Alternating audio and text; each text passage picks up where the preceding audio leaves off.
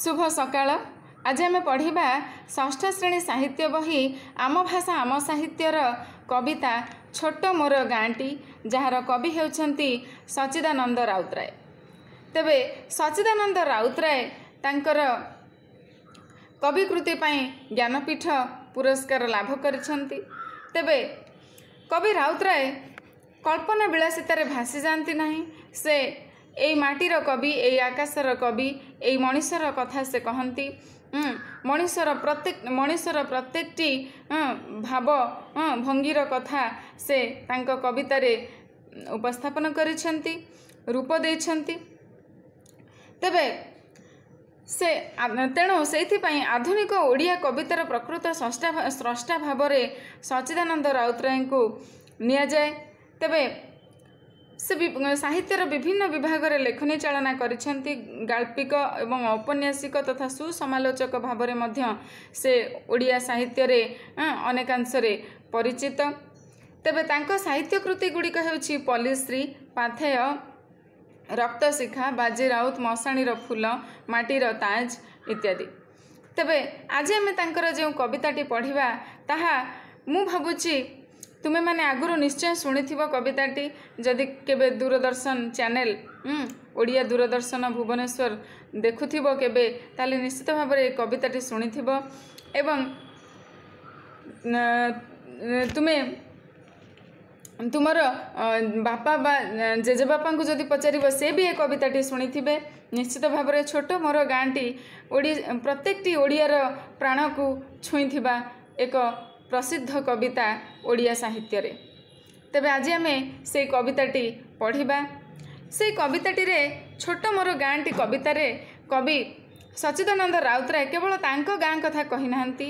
ସେ ସ୍ୱାଧୀନତା ପୂର୍ବବର୍ତ୍ତୀ ସମୟରେ ସମଗ୍ର ଓଡ଼ିଶାର ରାଜନୈତିକ ଚିତ୍ର ସମଗ୍ର ଓଡ଼ିଶାର ପଲ୍ଲୀ ପଲ୍ଲୀର ଦୃଶ୍ୟ ପଲ୍ଲୀ ରାଜନୀତିର ଦୃଶ୍ୟ ଏସବୁ ସେ ସେଥିରେ ବର୍ଣ୍ଣନା କରିଛନ୍ତି। କିଭଳି ଭାବରେ ସ୍ୱାଧୀନତା ପୂର୍ବବର୍ତ୍ତୀ ସମୟରେ ପଲ୍ଲୀର ଦୃଶ୍ୟ କିଭଳି ଥିଲା ସେ ଛୋଟ ମୋର ଗାଁଟି କବିତାରେ ଉପସ୍ଥାପନ କରିଛନ୍ତି। ତେବେ ଛୋଟ ମୋର ଗାଁଟି କେବଳ କବିଙ୍କର ଗାଁ ନୁହେଁ ସେଇଠି ସମଗ୍ର ଓଡ଼ିଶାର ଛବି ଆଙ୍କିଛନ୍ତି ଏଇ କବିତାରେ। ତେବେ ଦେଖିବା କବିତାରେ ସେ କ'ଣ କହୁଛନ୍ତି? ଛୋଟ ମୋର ଗାଁଟି ଭୂଗୋଳ ପୋଥି ପତରେ ପଛେ ନଥାଉ ତାର ନାଁଟି ଛୋଟ ମୋର ଗାଁଟି। ସେ କହୁଛନ୍ତି ଏଇ ମୋର ହେଉଛି ଛୋଟିଆ ଗାଁ। ସମଗ୍ର ଓଡ଼ିଶାର କଥା ସେ ଏଇଠି କହିଛନ୍ତି ଯେ ଇଏ ଏଇ ହେଉଛି ମୋର ଛୋଟ ଗାଁ ଯେଉଁଟାକି ଯାହାର ଭୂଗୋଳ ପୋଥିପତ୍ରରେ ଭୂଗୋଳ ବହିରେ ବା ତାର ନାଁ ପଛେ ନଥାଉ। ଅର୍ଥାତ୍ ତାର ଅର୍ଥ ହେଉଛି ମୋ ଓଡ଼ିଶାର ନାଁ ସେତେ ପ୍ରସିଦ୍ଧ ନ ହେଇଥାଉ। ମୋ ଦେଶର ନାଁ ବା ମୋ ରାଜ୍ୟର ନାଁ ଏତେ ପ୍ରସିଦ୍ଧ ନ ହେଇଥାଉ ପଛକେ। ମାଟିର ସେଇ ସରଗ ମୋର ସେଇ କିନ୍ତୁ ମୋ ପାଇଁ ସ୍ୱର୍ଗ ସମ ହୁଁ, ସେ ମୋ ପାଇଁ ସ୍ୱର୍ଗ ଭଳି ହୁଁ, ମାଟିର ସେଇ ସର ସରଗ ମୋର ସେଇଠି ଅଛି ମୋ ଷଠି ଘର। କାହିଁକି ସେ ମୋର ସ୍ୱର୍ଗ କାରଣ ସେଇଠି ମୋର ଷଠି ଘର ରହିଛି। ତୁମେ ଜାଣିଛ ଗୋଟେ ପିଲା ଜନ୍ମ ହେଲା ପରେ ଯେଉଁ ଏନ୍ତୁଡ଼ି ଶାଳରେ ରହେ ସେଇଠି ଷଠି ପୂଜା ହୁଏ। ହଁ ତେଣୁ ସେଇ ଷଠି ଘର କବି କହୁଛନ୍ତି ମୁଁ ଏଇ ମାଟିରେ ଜନ୍ମ ହେଇଛି ଏଇ ମାଟିରେ ମୋର ଷଠି ଘର ହେଇଛି। ହଁ ଷଠି ପୂଜା ହୁଏ। ତ ସେ ସେ କହୁଛନ୍ତି ଷଠି ମୋ ଷଠି ଘର ଏଇ ମାଟିରେ ରହିଛି। ଅର୍ଥାତ୍ ଏଇ ମାଟିରେ ତାଙ୍କର ଜନ୍ମ। ଜଳିବ ପୁଣି ସେଇଠି ଶେଷେ ମୋହରି ଚିତା ନିଆଁଟି ଛୋଟ ମୋର ଗାଁଟି। ପୁଣି ଶେଷରେ ମୋ ଚିତାଟି ମୋ ଚିତାର ନିଆଁଟି ଏଇଠି ଜଳିବ। ତୁମେ ଜାଣିଛ ଜନ୍ମଭୂମିକୁ ଅଣାଯାଏ ସାଧାରଣତଃ ଦେହାବଶେଷକୁ ଯିଏ ମରିଯାଏ ତାଙ୍କର ମୃତଦେହ ଜନ୍ମଭୂମିକୁ ଅଣାଯାଏ। ତେବେ ସେ ସେ କହୁଛନ୍ତି ଯେ ମୋ ମୁଁ ଏଇଠି ଏଇ ମାଟିରେ ଜନ୍ମ ହେଇଛି ଏଇଠି ମୋର ଷଠି ଘର ରହିଛି ଏବଂ ଏଇଠି ହିଁ ମୋର ଶେଷରେ ମୋ ଚିତା ନିଆଁଟି ବି ଏଇଠି ହିଁ ଜଳିବ। ସେଥିପାଇଁ ଏଇ ମାତୃଭୂମି ଏଇ ଓଡ଼ିଶା ମାଟି ହେଉଛି ମୋ ପାଇଁ ସ୍ୱର୍ଗ ସମ ହେଲା ଭୂଗୋଳ ପୋଥିପତ୍ରରେ ତା ନାଁ ପଛେ ନଥାଉ ସେ ତା ଏତେ ସେ ସେତେ ପ୍ରସିଦ୍ଧ ନ ହେଇଥାଉ ପଛେ କିନ୍ତୁ ସେଇ ହେଉଛି ମୋର ମା ହୁଁ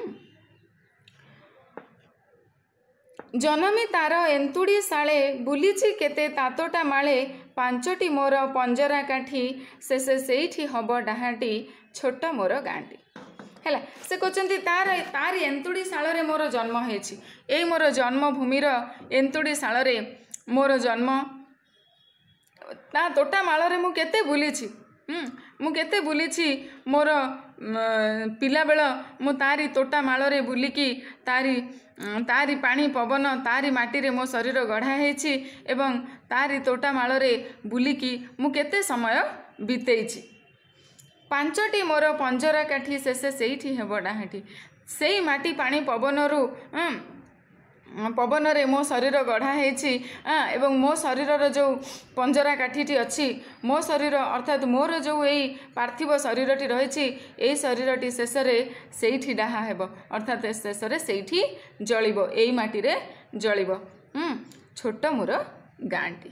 ହେଲା ଏଇ ମାଟିରେ ଜଳିବ ମୋର ଏଇ ଯେଉଁ ପାଞ୍ଚଟି ପାଞ୍ଚଟି ପଞ୍ଜରା କାଠି ପାଞ୍ଚଟି ପଞ୍ଜରା କାଠି ମାନେ ସେ କହୁଛନ୍ତି ତାଙ୍କର ଏଇ ଯେଉଁ ପାର୍ଥିବ ଶରୀର।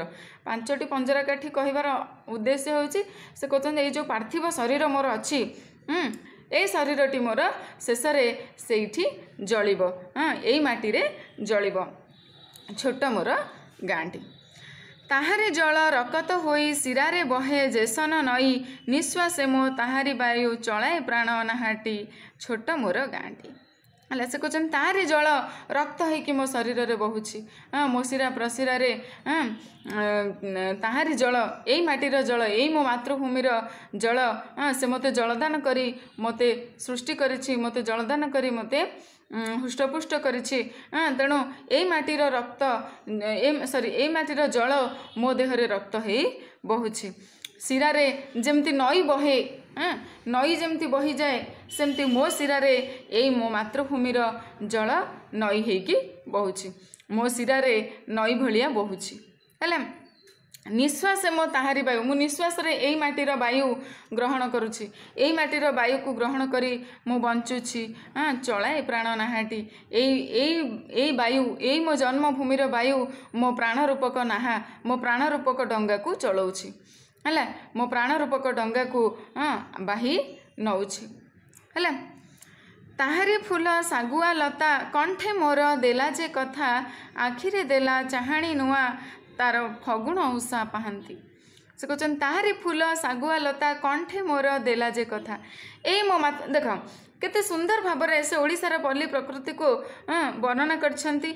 ପଲ୍ଲୀ ପ୍ରକୃତି ଏଇଠି ଜୀବନ୍ତ ହେଇ ଉଠିଛି ତାଙ୍କ କବିତାରେ। ତେବେ ସେ କହୁଛନ୍ତି ତାହାରି ଫୁଲ ଶାଗୁଆ ଲତା କଣ୍ଠେ ମୋର ଦେଲା ଯେ କଥା। ଏ ମୋ ମାତୃଭୂମିର ଫୁଲ ତାରି ଶାଗୁଆ ଲତାକୁ ଦେଖି ମୁଁ କଥା କହିବା ଶିଖିଲି। ମୁଁ ତାରି ବାସ୍ନା ଶୁଙ୍ଘିଲି ମୁଁ କଥା କହିବା ଶିଖିଲି ସେ ମୋ କଣ୍ଠରେ କଥା ଦେଲା। ମୋତେ କଥା କହିବା ଶିଖେଇଲା ଏଇ ମାଟି ପାଣି ପବନ ଏଇ ଫୁଲ ଏଇ ଶାଗୁଆ ଲତା ମୋତେ ଜୀବନ ଦେଲେ କଥା କହିବା ଶିଖେଇଲେ। ଆଖିରେ ଦେଲା ଚାହାଣି ନୂଆ ମୋ ଆଖିରେ ନୂଆ ଚାହାଣି ଭରିଦେଲା। ମୁଁ ଅନେକ ସ୍ୱପ୍ନ ଦେଖିଲି ଏଇ ଏଇ ମୋ ମାଟିରୁ ମୁଁ ଆଗକୁ ଆଗକୁ ଆଗେଇବାର ଏବଂ କ'ଣ ଆହୁରି ଉତ୍ତରୋତ୍ତର ଉନ୍ନତି କରିବାର ଯେଉଁ ସ୍ୱପ୍ନ ମୁଁ ଏଇ ମୋ ମାତୃଭୂମିରୁ ଦେଖିଲି। ହଁ ଏଇ ମାତୃଭୂମିର ଯେଉଁ ପ୍ରାକୃତିକ ଦୃଶ୍ୟ ମୋ ଆଖିରେ ନୂଆ ସ୍ୱପ୍ନ ଭରିଦେଲା। ହେଲା ଏବଂ ଆଖିରେ ଦେଲା ଚାହାଣି ନୂଆ ମୋ ଆଖିରେ ନୂଆ ଚାହାଣି ଭରିଦେଲା ମୁଁ ଗୋଟିଏ ନୂଆ ଦୃଷ୍ଟିରେ ଏ ପୃଥିବୀକୁ ଦେଖୁଛି ଆଜି। କବି କହୁଛନ୍ତି ମୁଁ ଗୋଟିଏ ନୂଆ ଦୃଷ୍ଟିରେ ଏ ପୃଥିବୀକୁ ଦେଖୁଛି। ଅତି ସୁନ୍ଦର ଏ ପୃଥିବୀ ଯେଉଁଠି ମାନବିକତାର ଜୟଗାନ କରୁଛି ପ୍ରକୃତି ସୌନ୍ଦର୍ଯ୍ୟମୟ ହୋଇ ଉଠୁଛି। ସେ କହୁଛନ୍ତି ଫଗୁଣ ଉଷା ପାହାନ୍ତି। ଫଗୁଣ ମାସର ସକାଳ ସକାଳ ଯେଉଁ ପାହାନ୍ତି ସମୟ ଉଷା ଆଉ ପାହାନ୍ତି ସମୟ ଫଗୁଣ ମାସର ଯେଉଁ ଉଷା ସମୟ ଉଷା ମାନେ କ'ଣ? ପ୍ରତ୍ୟୁଷ ବା ସକାଳ ସକାଳ ଭୋର ସମୟ। ସକାଳ ଏବଂ ଭୋର ସମୟ କ'ଣ ହେଲା? ମୋ ଆଖିରେ ନୂଆ ଚାହାଣି ଭରିଦେଲା। ମୋ ମନରେ ମୁଁ ଅନେକ ସ୍ୱପ୍ନ ଦେଖିଲି। ଏଇ ଏଇ ମାତୃଭୂମିରୁ ମୁଁ ସବୁ ସ୍ୱପ୍ନ ଏଇ ମାତୃଭୂମିର ପ୍ରେରଣାରେ ମୁଁ ଉତ୍ତରୋତ୍ତର ଉନ୍ନତି କରିବା ପାଇଁ ସ୍ୱପ୍ନ ଦେଖିଲି। ହେଲା ଝରଣା ତାର କଲା ଯେ କବି ନୟନେ ଦେଲା ରୂପର ଛବି। ତା ଝରଣା ମୋତେ କବି କରିଦେଲା। ଏଇ ମୋ ମାତୃଭୂମିର ଝରଣା ମୋତେ କବି କରି ସଜେଇ ଦେଲା। ମୁଁ ତାକୁ ହିଁ ଦେଖି କବିତା ଲେଖିଲି। ଏଇ ମୋ ମାତୃଭୂମିର ଝରଣାକୁ ଦେଖି ମୁଁ କବିତା ଲେଖିଲି। ନୟନେ ଦେଲା ରୂପର ଛବି। ମୋ ଆଖିରେ ଏଇ ପ୍ରକୃତିର ସୁନ୍ଦର ରୂପ ଏଇ ପ୍ରକୃତିର ରୂପ ସମସ୍ତଙ୍କ ପାଇଁ ସାଧାରଣ ହେଇପାରେ କିନ୍ତୁ ମୋ ପାଇଁ ଅତି ସୁନ୍ଦର ହେଇ ଉଠିଲା। ହଁ ତାହା ମୋତେ ଏଇ ମାତୃଭୂମି ଦେଇଛି। ହେଲା ବୁହାଇ ଦେଲା ସପନ ଢେଉ ପଥର ବୁକେ ନିହାତି। ମୋ ମନ ଭିତରେ ଅନେକ ସ୍ୱପ୍ନ ମୁଁ ଦେଖିଲି। ସପନର ଢେଉ ବୁହାଇଲା ଏଇ ମୋ ମାତୃଭୂମି ଏଇ ମାତୃଭୂମିର ଝରଣା ଏ ମୋ ମାତୃଭୂମିର ଝରଣା ମୋତେ କବି କରିଦେଲା ମୋ ନୟନରେ ରୂପର ଛବି ଆଣିଦେଲା ଏବଂ ସ୍ୱପ୍ନର ଢେଉ ବୁହାଇଦେଲା ମୋ ମନରେ ପଥର ବୁକେ ନିହା- ନିହାତି। ମୋ ମୋ ଭଳି ଗୋଟିଏ ପଥର ହୃଦୟ ଭିତରେ ଅନେକ ସ୍ୱପ୍ନ ସେ ଭରିଦେଲା। କିଏ ମୋ ଗାଁର ଝରଣା ହେଲା? ଅର୍ଥାତ୍ ଓଡ଼ିଶାର ନ- ନ- ନଦୀ ଝରଣା ତା'ର ଉଁ, ବଣ ପାହାଡ଼ ଫୁଲ ଗଛ ଲତା ଏସବୁର ସୌନ୍ଦର୍ଯ୍ୟ ହଁ, ପଲ୍ଲୀ ପ୍ରକୃତି ସେଇଥିରେ ବର୍ଣ୍ଣନା କରିଛନ୍ତି। ପଲ୍- ପଲ୍ଲୀ ପ୍ରକୃତିର ସୌ- ସୌନ୍ଦର୍ଯ୍ୟ ହୁଁ, ସେଇ କବିତାରେ ବର୍ଣ୍ଣନା କରିଛନ୍ତି ହେଲା? ତାହାରି ଲଟା ତାହାରି ବଣ ତାଗାଇ ଗୋଠ ମୁରଲି ସ୍ୱନ ଫସଲ କଟା ମଧୁର ଗାନ ସକଳ ମୋର ସାହାଟି ଛୋଟ ମୋର ଗାଁଟି। ହେଲା ସେ କହୁଛନ୍ତି ତାରି ଲଟା ତାରି ବଣ ଏଠି ପୁଣି ଥରେ ଓଡ଼ିଶାର ଲଟା ବଣ ପାହାଡ଼ ଏସବୁର ସ- ସୁନ୍ଦରତାର ଗାନ କରିଛନ୍ତି। ସେ କହୁଛନ୍ତି ଯେ ତାହାରି ଲଟା ତାହାରି ବଣ ଏଇ ମୋ ମାତୃଭୂମିର ଲଟା ବଣ ତାର ଗାଈ ଗୋଠ ଗାଈ ଗୋଠର ସୁନ୍ଦରତା ମଧ୍ୟ ସେ ବର୍ଣ୍ଣନା କରିଛନ୍ତି। ମୁରଲି ସ୍ୱନ ଗାଈ ଗୋଠ ଯେଉଁ ଅ, ଚରେଇଲା ବାଲାର ଯେଉଁ ମୁରଲି ସ୍ୱନ ଯେଉଁ ବଂଶୀ ବଂଶୀର ଶବ୍ଦ ସେଇଟା ଫସଲ କଟା ମଧୁର ଗାନ ମଧୁର ଗାନ। ଫସଲ କାଟିଲା ବେଳେ ଚାଷୀ ଯେଉଁ ଅତି ଖୁସି ହେଇକି ଉତ୍ସାହିତ ହେଇକି ଯେଉଁ ଗୀତ ଗାଏ ସେ ସଙ୍ଗୀତ ଏ ସବୁ କିଛି ସକଳ ମୋର ସାହାଟି ଏ ସମସ୍ତେ ମୋର ସାହା ଏ ସମସ୍ତେ ମୋର ସାହା ଭରସା। ହେଲା ସେ କହୁଛନ୍ତି ଯେ ଏ ମାଟିର ଲଟା ବଣ ତାର ଗାଈଗୋଠ ତାର ମୁରଲି ସ୍ୱନ ଏବଂ ତାର ଫସଲ କଟା ମଧୁର ଗାନ ଏସବୁ ମୋର ସାହା ଭରସା। ହେଲା ଆଲୁଅ ତାର କି ମନୋହର ଅନ୍ଧକାର ତାଠାରୁ ଭଲ ଜୀବନ ପଥେ ସକଳ ତାର ଫିଟାଏ ନୂଆ ରାହାଟି। ହେଲା ସେ କହୁଛନ୍ତି ଯେ ଆଲୋକ ତାର କି ମନୋହର? ଆଲୋକ କି ମନୋହର ତାର ଆଲୋକ? କି ସୁନ୍ଦର ତାର ଆଲୋକ କି ମନୋହର କି ଆକର୍ଷଣୀୟ ତାର ଆଲୋକ? ଅନ୍ଧକାର ତାଠାରୁ ଭଲ। ସେ କହୁଛନ୍ତି ଯେ ଯେତେବେଳେ ସକାଳ ହୁଏ ଅତି ମନୋହର ଦୃଶ୍ୟ ହଁ ମୋ ଗାଁର ମୋ ଓଡ଼ିଶା ମାଟିର ମୋ ଜନ୍ମଭୂମିର ଯେଉଁ ପଲ୍ଲୀର ସୁନ୍ଦର ଦୃଶ୍ୟ ହଁ ସକାଳୁ ସକାଳୁ ସ୍ନିଗ୍ଧ ସକାଳର ଯେଉଁ କ'ଣ ଫଗୁଣ ମାସର ଉଷା ପାହାନ୍ତି ଏ ଯେଉଁ ସୌନ୍ଦର୍ଯ୍ୟ ସେ କହୁଛନ୍ତି ଯେ ଆଲୁଅ ଯେତେବେଳେ ଆଲୁଅ ଥାଏ ମୋ ଗାଁରେ ଅର୍ଥାତ୍ ଦିନ ହେଇଥାଏ ସେତେବେଳେ ମୋ ଗାଁର ସୁନ୍ଦର ଦୃଶ୍ୟ ଦେଖିବାକୁ ମିଳେ। କେଉଁଠି ମୁରଲି ସ୍ୱନ ଶୁଭିବାକୁ ମିଳେ କେଉଁଠି ଗାଈ ଗୋଠ ଚରୁଥାନ୍ତି କେଉଁଠି ଗଛ ଲଟା ବଣ ପାହାଡ଼ ଏସବୁ ଦେଖିବାକୁ ମିଳେ। ଅନ୍ଧକାର ତାଠାରୁ ଭଲ ଜୀବନ ପଥେ ସକଳ ତାର ଫିଟାଇ ନୂଆ ରାହାଟି। ସେ କହୁଛନ୍ତି ମୋ ଗାଁର ଆଲୋକ ତ ମନୋହର ଅନ୍ଧକାର ତାଠାରୁ ବି ଆହୁରି ଭଲ। ହେଲା କାହିଁକି ନା ଯେତେବେଳେ ଅନ୍ଧକାର ହେଇଆସେ ଆଁ ସୂର୍ଯ୍ୟ ପାହାଡ଼ର ସେପଟେ ପାହାଡ଼ର ଆରପଟେ ସୂର୍ଯ୍ୟ ଯେତେବେଳେ ବୁଡ଼ିଯାଆନ୍ତି ସେଇ ଯେଉଁ ସୁନ୍ଦର ଦୃଶ୍ୟ ନଦୀ ଉପରେ ବିଚ୍ଛୁରିତ ହେଇ ପଡ଼ିଥାଏ ଯେଉଁ ଲାଲ କିରଣ ତାର ଯେଉଁ ସୁନ୍ଦର ଦୃଶ୍ୟ ଗାଈ ଗୋଠ ଫେରୁଥାନ୍ତି ପକ୍ଷୀମାନେ ନୀଡ଼କୁ ଫେରୁଥାନ୍ତି ଏବଂ ସନ୍ଧ୍ୟା ଆଳତି ଶୁଭେ ଗାଁ ମନ୍ଦିରରେ ଗ୍ରାମଦେବୀଙ୍କ ମନ୍ଦିରରେ ସନ୍ଧ୍ୟା ଆଳତି ଶୁଭେ ଏବଂ ସନ୍ଧ୍ୟା ସମୟରେ ସମସ୍ତେ ଘରକୁ ଫେରନ୍ତି ଏବଂ ସବୁ ସମସ୍ତେ ପରିବାର ଲୋକମାନେ ସନ୍ଧ୍ୟା ସମୟରେ ହିଁ ଏକାଠି ହୁଅନ୍ତି ଦୁଃଖ ସୁଖ ହୁଅନ୍ତି ନିଜ ନିଜ ଭିତରେ ସୁଖ ଦୁଃଖ ବାଣ୍ଟନ୍ତି। ତେବେ ସେ କହୁଛନ୍ତି ସକାଳର ସମୟ ଆକର୍ଷଣୀୟ। ଆଲୁଅ ତାର କି ମନୋହର। ଅତି ଅତି ଆକର୍ଷଣୀୟ ଦୃଶ୍ୟ ମୋ ଗାଁର ପଲ୍ଲୀ ପ୍ରକୃତି। ର ସୁନ୍ଦରତା। ଅତି ଆକର୍ଷଣୀୟ ଅତି ମନୋହର। କିନ୍ତୁ ଅନ୍ଧକାର ମୋ ଗାଁର ଅନ୍ଧକାର ବି ତାଠୁ ଆହୁରି ଭଲ। କାରଣ ଅନ୍ଧକାରରେ ଗାଁର ଆଳତି ଠାରୁ ଆରମ୍ଭ କରି ଗୋଠ ବାହୁଡ଼ା ପର୍ଯ୍ୟନ୍ତ ଏବଂ କ'ଣ ପକ୍ଷୀର ନୀଡ଼ ବାହୁଡ଼ାଠୁ ଆରମ୍ଭ କରି ସୂର୍ଯ୍ୟାସ୍ତର ଦୃଶ୍ୟ ପର୍ଯ୍ୟନ୍ତ ଏବଂ ଲୋକମାନଙ୍କର ଘର ବାହୁଡ଼ାଠୁ ଆରମ୍ଭ କରି ପାରିବାରିକ ସୁଖ ପର୍ଯ୍ୟନ୍ତ। ହେଲା ସବୁକିଛି ସବୁକିଛି କ'ଣ କରେ? ଜୀବନ ପଥେ ସକଳ ତାର ଫିଟାଏ ନୂଆ ରାହାଟି। ଜୀବନ ପଥରେ ସକଳ ରାହା ଏଇ ଅନ୍ଧକାର ସମୟ ଫିଟାଏ।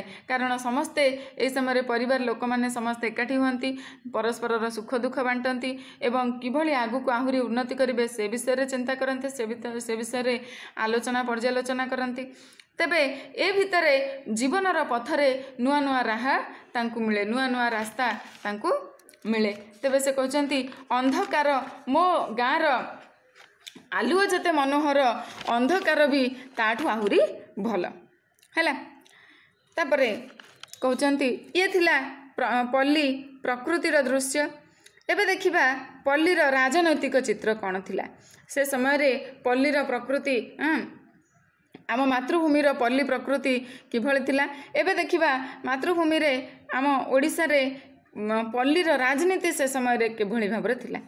ହେଲା କ୍ଷୁଦର ତାର ଉଦର ତଳେ କେତେ ଯେ ରଥି ଜନମ ନେଲେ ନାଉଆ ଲୋକେ ଅଇଲେ ଗଲେ ଆଜି ସେ ସବୁ କାହାନ୍ତି ଛୋଟ ମୋର ଗାଁଟି। ହେଲା କବି ପଲ୍ଲୀ ପ୍ରକୃତିକୁ ବର୍ଣ୍ଣନା କଲାବେଳେ ଉତ୍ସାହିତ ହୋଇପଡ଼ିଥିଲେ ପ୍ରେରିତ ହୋଇପଡ଼ିଥିଲେ ଅତି ସୁନ୍ଦର ଭାବରେ ବର୍ଣ୍ଣନା କରିଥିଲେ ଏବଂ ପଲ୍ଲୀ ପ୍ରକୃତିର ଜୟଗାନ କରିଥିଲେ। କିନ୍ତୁ ବର୍ତ୍ତମାନ ପଲ୍ଲୀ ରାଜନୀତି ସମୟ ରାଜନୀତିକୁ ଯେତେବେଳେ ଓହ୍ଲାଉଛନ୍ତି ସେତେବେଳେ ସେ ଆରମ୍ଭରୁ ଦୁଃଖ ପ୍ରକାଶ କରୁଛନ୍ତି। ଆରମ୍ଭରୁ ସେ କହୁଛନ୍ତି ଯେ କ୍ଷୁଦର ତାର ଉଦର ତଳେ କେତେ ଯେ ରଥି ଜନମ ନେଲେ। ମୋର ଏଇ ପଲ୍ଲୀ ଭୂଇଁରେ ମୋ ଏଇ ମାତୃଭୂମିରେ କେତେ ରଥି ମହାରଥୀ କେତେ ପୁରୁଷ କେତେ ମହାପୁରୁଷ ଜନ୍ମ ନେଲେ ହୁଁ, କ୍ଷୁଦ୍ର ଏଇ ତାର ଉଦର ତଳେ। ଅର୍ଥାତ୍ ଏଇ କ୍ଷୁଦ୍ର ହଁ, ମୋର ମାତୃଭୂମି ଏଇ କ୍ଷୁଦ୍ର ଭୂମିରେ କେତେ ଯେ ଉମ୍, ରଥି ମହାରଥୀ ଅର୍ଥାତ୍ କେତେ ମହାପୁରୁଷ ଜନ୍ମ ନେଲେ ନାଉଆ ଲୋକେ ଅଇଲେ ଗଲେ କେତେ ନାଁ କରୁଥିବା ଲୋକ କେତେ ପ୍ରସିଦ୍ଧି ଲାଭ କରିଥିବା ଲୋକ ଆସିଲେ ଗଲେ ଆଁ, ଜନ୍ମ ନେଲେ ଅ- ଅନେକ ଜନ୍ମଭୂମି ପାଇଁ ଅନେକ ଖ୍ୟାତି ଅର୍ଜନ କଲେ ଏବଂ ଗଲେ। ଆଜି ସେ ସବୁ କାହାନ୍ତି? କବି ପ୍ରଶ୍ନ କରିଛନ୍ତି ଆଜି କିନ୍ତୁ ସେମାନେ କେହି ନାହାନ୍ତି। ଆଜି ସେସବୁ କାହାନ୍ତି? ଆଉ ସେ ମହାପୁରୁଷ ମାନଙ୍କର ଜନ୍ମ ବା ରଥୀ ମହାରଥୀଙ୍କର ଜନ୍ମ ମୋ ମାତୃଭୂମିରେ ହେଉ ନାହିଁ। ଆଜି ସମସ୍ତେ ଏଇଠି ସ୍ୱାର୍ଥପର ପାଲଟି ଯାଇଛନ୍ତି। ଆଉ କେହି ଏଇଠି ସେଭଳିଆ ମହାପୁରୁଷ ଜନ୍ମ ନେଉ ନାହାନ୍ତି। ଯେଉଁମାନେ ଆଗରୁ ଥିଲେ। ହେଲା। ତେବେ ପେଟରେ ପେଟେ ମାମଲା ବୁଦ୍ଧି ଜନମି ଥିଲେ ହରିଷ ବୁଦ୍ଧି। ସାଥୀକୁ ତାଙ୍କ ଗୋଦର ଗୋଡ଼। ମନ୍ତ୍ରୀ ଛଣି ମହାନ୍ତି ଛୋଟ ମୋର ଗାଁଟି। ହେଲା ସେ କହିଛନ୍ତି ଯେ ପେଟରେ ପେଟେ ମାମଲା ବୁଦ୍ଧି। ପେଟରେ ପେଟେ ଲେଖାଏ ମାମଲା ବୁଦ୍ଧି ରଖିକିରି ହରିଷ ବୁଦ୍ଧି ଜନମି ଥିଲେ। ହେଲା ସେ କହୁ- ଦେଖ ଏଇଠି ଏ ଅନେକ ଚରିତ୍ର ଆମେ ଦେଖିବା। ହେଲା ଯେଉଁ ଚରିତ୍ର ଗୁଡ଼ିକ ସେ ଏଇ ଗାଁରୁ ନେଇଛନ୍ତି ଅର୍ଥାତ୍ ଏଇଟା କେବଳ କବି- କବିଙ୍କ ଗାଁର କଥା ନୁହେଁ ସମଗ୍ର ଓଡ଼ିଶାର କଥା। ସମଗ୍ର ଓଡ଼ିଶାରେ ଗାଁ ଗାଁରେ ଅନେକ ପ୍ରକାରର ଚରିତ୍ର ଥିଲେ ଯେଉଁମାନଙ୍କୁ ସେ ଏଇ କବିତାରେ ଉଦ୍ଧାର କରିବେ। ଉଦାହରଣ ସ୍ୱରୂପ ହେଲା ଏଠି ପ୍ରତୀକ ଭାବରେ ନେଇଛନ୍ତି ଅନେକ ଚରିତ୍ର ହେଲା ଏବଂ ସେଇଠି ଉଦାହରଣ ଦେଇକି କହିବେ ଯେ ଓଡ଼ିଶାର ଗାଁ ମାନଙ୍କରେ କେବଳ କବିଙ୍କ ଗାଁରେ ନୁହେଁ ସାଧାରଣତଃ ଓଡ଼ିଶାର ଗାଁ ମାନଙ୍କରେ ଏଇଭଳି ଚରିତ୍ରର ଲୋକମାନେ ଥିଲେ। ହେଲା ଅନେକ ଚରିତ୍ର ସେ ଆମକୁ ଦେଖେଇବେ ଆଉ ଆମେ ବି ଅନୁଭବ ବି କରିପାରିବା। ସତରେ ଏମିତିଆ ଚରିତ୍ର ଆମ ଚାରିପଟେ ଥିଲେ ହେଲା। ଏବେ ବି ଅଛନ୍ତି ଆମେ କହିପାରିବା। ହେଲା ସେ କହିଛନ୍ତି ଯେ ପେଟରେ ପେଟେ ମାମଲା ବୁଦ୍ଧି ଜନମି ଥିଲେ ହରି ସୁବୁଦ୍ଧି। ହେଲା ହରି ସୁବୁଦ୍ଧି ଗୋଟିଏ ଚରିତ୍ର ସେ ନେଇଛନ୍ତି ଗାଁର ଗୋଟିଏ ଚରିତ୍ର। ସେ କହୁଛନ୍ତି ହରି ସୁବୁଦ୍ଧିଙ୍କ ଭଳି ଏମିତି ଅନେକ ହରି ସୁବୁଦ୍ଧି ଓଡ଼ିଶାର ଗାଁ ଗାଁରେ ଥିଲେ। ହେଲା ଅନେକ ହରି ସୁବୁଦ୍ଧି ଓଡ଼ିଶାର ଗାଁ ଗାଁରେ ଥିଲେ। ତାଙ୍କର କାମ କ'ଣ? ସାଥୀକୁ ତାଙ୍କ ଗୋଦର ଗୋଡ଼ ମନ୍ତ୍ରୀ ଛଣି ମହାନ୍ତି। ଆଉ ତାଙ୍କ ସାଙ୍ଗରେ କିଏ ଥିଲେ? ଦେଖ ପେଟରେ ପେଟେ ମାମଲା ବୁଦ୍ଧି। ଅର୍ଥାତ୍ ସମସ୍ତଙ୍କ କାହାର ଖଳ ପ୍ରକୃତିର ଲୋକମାନେ ହେଲା କାହାର କ'ଣ ଅସୁବିଧା କରିବେ କାହାର କ'ଣ କ୍ଷତି କରିବେ ପେଟରେ ପେଟେ ମାମଲା ବୁଦ୍ଧି କାହା ପାଇଁ ଷଡ଼ଯନ୍ତ୍ର କରିବେ କାହାକୁ ହଇରାଣରେ ପକାଇବେ ଏଇଭଳିଆ ଚରିତ୍ରର ହେଉଛି ହେଉଛି ହରିସୁବୁଦ୍ଧି ହେଲା। ତେବେ ହରିସୁବୁଦ୍ଧି ଭଳିଆ ଅନେକ ଚରିତ୍ର ଆମ ଓଡ଼ିଶାରେ ଗାଁ ମାନଙ୍କରେ ଥିଲେ ହେଲା। ଆଉ କ'ଣ ସାଥୀକୁ ତାଙ୍କ ଗୋଦର ଗୋଡ଼ ମନ୍ତ୍ରୀ ଛଣି ମହାନ୍ତି। ହେଲା ତାଙ୍କ ସାଥିରେ ଆଉ କିଏ ଥିଲେ? ନା ଗୋଦର ଗୋଡ଼ ମନ୍ତ୍ରୀ ଛଣି ମହାନ୍ତି। ମନ୍ତ୍ରୀ ଛଣି ମହାନ୍ତିଙ୍କ ଭଳିଆ କେତେଜଣ ଗୋଦର ଗୋଡ଼ ଲୋକ ମଧ୍ୟ ଗାଁରେ ଥିଲେ। ଗୋଦର ଗୋଡ଼ ଏଠି କ'ଣ କୁହାଯାଉଛି? ତମେ ଜାଣିଥିବ? କ'ଣ? ଗୋଟେ ନାହିଁ? ଗୋଟେ ଢଗ ନାହିଁ ତମ ମା କି ଜେଜେମା କହୁଥିବେ ଆଁ ଗୋଦର ଗୋଡ଼ରେ ମାଉଁସ ଲାଗିଲେ ଦେହର କି ଶୁଭ ଗଣି? ହଁ ନା ନାହିଁ ଗୋଦର ଗୋଡ଼ ତମର ଯଦି ଗୋଟେ ଗୋଡ଼ ଗୋଦର ମାନେ ଗୋଟେ ଲୋକର ଗୋଟେ ଗୋଡ଼ ଯଦି ଗୋଦରା ହେଇଯିବ ହଁ ସେଥିରେ ମୋଟା ହେଇକି ସେଥିରେ ରୋଗ ହେଇକି ଗୋଡ଼ଟା ଫୁଲିବ ଗୋଟିଏ ଗୋଡ଼। ହେଲା ତାହେଲେ ସେଇଟା କ'ଣ ଦେହ ପାଇଁ ଶୁଭ ଲକ୍ଷଣ ନା ଅଶୁଭ ଲକ୍ଷଣ? ନିଶ୍ଚିତ ଭାବରେ ଅଶୁଭ ଲକ୍ଷଣ। ତାମାନେ ଗୋ- ତମେ ଯେତେବେଳେ ତୁମେ ବହୁତ ପତଳା ଅଛ ଯେତେବେଳେ ମୋଟା ହେବ। ଯେତେବେଳେ ମୋଟା ହେବ ସେଇଟା ତୁମ ପାଇଁ ଶୁଭ ଲକ୍ଷଣ। କିନ୍ତୁ ଯେତେବେଳେ ତ- ଯେତେବେଳେ ଧର ଜଣଙ୍କର ଗୋଟିଏ ଗୋଡ଼ ଫୁଲିବ ସେଇଟା କ'ଣ?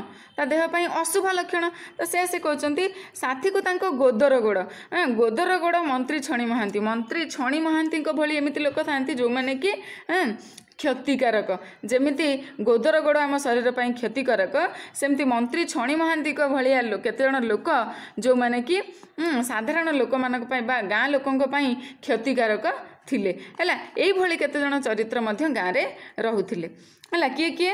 ନା ହରି ସୁବୁଦ୍ଧିଙ୍କ ଭଳିଆ ଖଳ ଚରିତ୍ରର ଲୋକ ଯେଉଁମାନେ ଯେଉଁମାନଙ୍କ ପେଟରେ ପେଟେ ମାମଲା ବୁଦ୍ଧି ଥାଏ ଅନ୍ୟମାନଙ୍କ ପାଇଁ ଷଡ଼ଯନ୍ତ୍ର କରନ୍ତି ଅନ୍ୟମାନଙ୍କୁ ହଇରାଣ ହରକତ କରନ୍ତି। ଛଣି ମହାନ୍ତିଙ୍କ ଭଳି କେତେଜଣ ଲୋକ ଥିଲେ ଯେଉଁମାନେ କି ଅନ୍ୟମାନଙ୍କ ପାଇଁ କ୍ଷତିକାରକ ଅଟନ୍ତି। ଯେମିତି ଗୋଦର ଗୋଡ଼ ଗୋଟେ ଲୋକ ପାଇଁ କ୍ଷତିକାରକ ଅଟେ। ହେଲା ସେମିତି ଛଣି ମହାନ୍ତିଙ୍କ ଭଳିଆ କେତେଜଣ ଲୋକ ଗାଁରେ ଥିଲେ ଯେଉଁମାନେ ଗାଁ ଲୋକ ଗାଁ ପାଇଁ କ୍ଷତିକାରକ ଅଟନ୍ତି। ବୁଝିପାରିଲ? ତେବେ ଏଇଭଳି କେତେଜଣ ଚରିତ୍ର ଓଡ଼ିଶାର ଗାଁ ଗାଁରେ ଥିଲେ ହରି ସୁବୁଦ୍ଧିଙ୍କ ଭଳିଆ ମନ୍ତ୍ରୀ ଛଣି ମହାନ୍ତିଙ୍କ ଭଳିଆ ଅନେକ ଚରିତ୍ର ଓଡ଼ିଶାର ଗାଁ ମାନଙ୍କରେ ଥିଲେ। ତେବେ ଏଇଠି ଥିଲା ଏଇ କବିତାର ପ୍ରଥମ ପର୍ଯ୍ୟାୟ। ତେବେ ପ୍ରଥମ ପର୍ଯ୍ୟାୟରେ ଆମେ ଦେଖିଲେ ଓଡ଼ିଶାର ପଲ୍ଲୀ ଏ, ର ପଲ୍ଲୀର ଦୃଶ୍ୟ ପ୍ରାକୃତିକ ଦୃଶ୍ୟ ଏବଂ ଏହାର ରାଜନୈତିକ ଦୃଶ୍ୟ ଆମେ ଆରମ୍ଭ କରିଛେ। ତେବେ ଏହାର ଦ୍ୱିତୀୟ ପର୍ଯ୍ୟାୟରେ ଆମେ ଏଇ କବିତାଟି ଶେଷ କରିବା।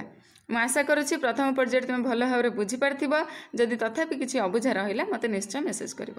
ଧନ୍ୟବାଦ।